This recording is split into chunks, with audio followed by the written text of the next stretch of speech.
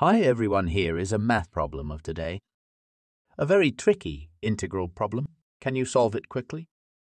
By applying King's rule, also known as the King property, is a useful property for definite integrals. It states that if you have a function fx on an interval ab and you replace x with a plus b minus x in the integral, the value of the integral remains the same.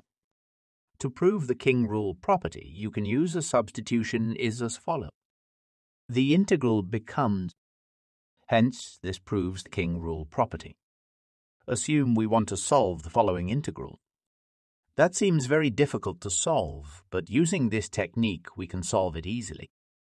Applying King property, we find that Note that the property of tangent, then the integral becomes and we find that simplification gives us, so we obtain.